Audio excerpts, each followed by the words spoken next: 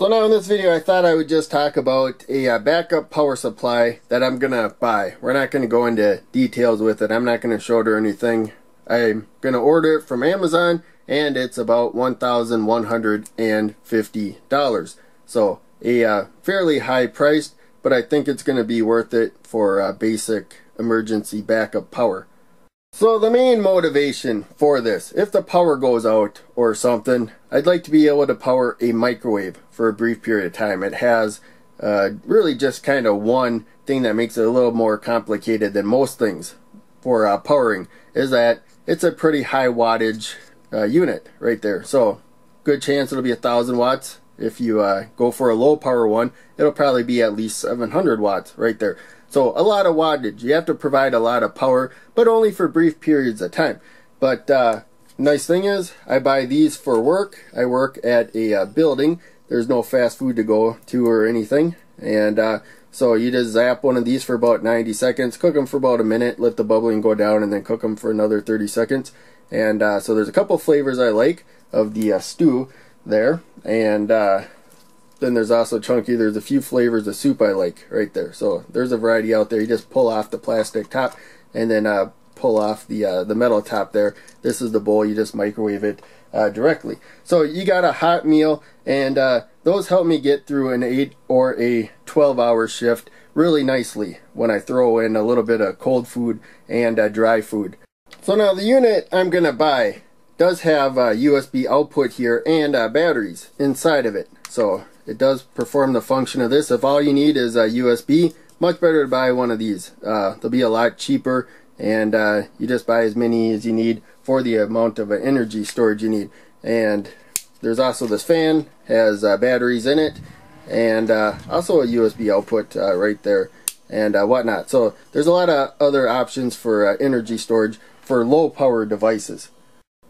This is a power inverter. As you can see, it's only rated for 400 watt. It cannot power a microwave, but it does have a lot of what we're going to have in the unit that I buy. So it's got the AC plugs right there, as does the other one, but these cannot provide enough power, enough current for a uh, microwave right there. As I said before, it'd probably be at least a 700 uh, watt, and that's only 400 watt. So you just plug that to a battery. There's no battery inside it. That's the other nice thing about the unit I'm going to buy. It has the uh, battery inside it. But uh, just like with this, it has a USB outputs. So does the unit I'm going to buy. So now the uh, power bank I'm going to buy is basically the combination of those last two things that I showed you, plus with more options. But uh, we're going to keep it simple right there. Basically the combination, you got AC power. You can output a higher wattage though. You can provide a lot more power, a lot more current to uh, devices than uh, the other unit I showed you. But within it has a, a, battery. So it looks like it's a lithium ion battery because that's the voltage they gave me at uh, 350 amp hours according to the seller. And uh, so you multiply those two numbers together because it's amp hours, you get the watt hours, uh, 1,260 watt hours. So that should allow a 1000 watt microwave to operate for more than an hour, probably an hour and like 15 minutes or so. A 700 watt, that's not half of a thousand, but it's down half a bit. So I just put almost uh, two hours, probably somewhere between an hour and a half and uh, an hour and 45 minutes, probably in between there. But uh, any case, I'm just keeping the math easy. So that's for $1,150.